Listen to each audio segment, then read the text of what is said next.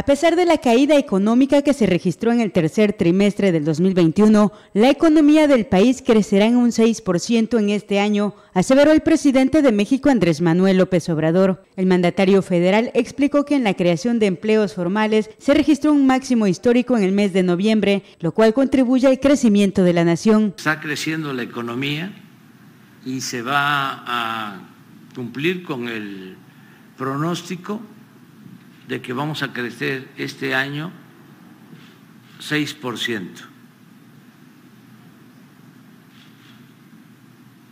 Y sí fue una V y hay varios indicadores. Yo creo que el mejor indicador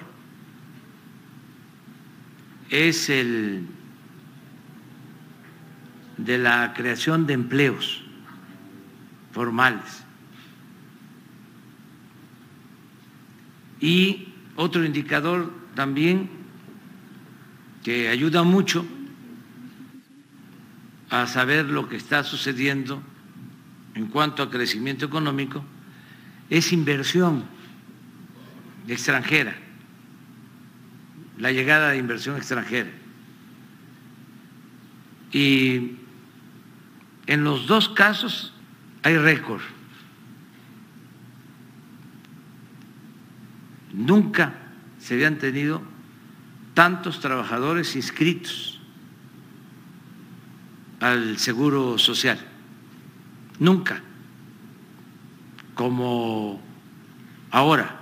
No solo ya rebasamos el número de trabajadores que se tenían antes de la pandemia,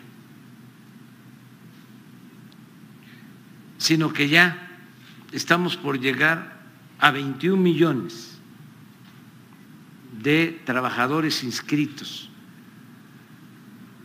en el Seguro Social. En las cifras presentadas por el presidente durante su conferencia de prensa matutina, señaló que en el onceavo mes del 2021 se agregaron 144 mil puestos de trabajo, con lo cual suman 20.9 millones de personas en puestos laborales. Para Noticias TVT, Flor García.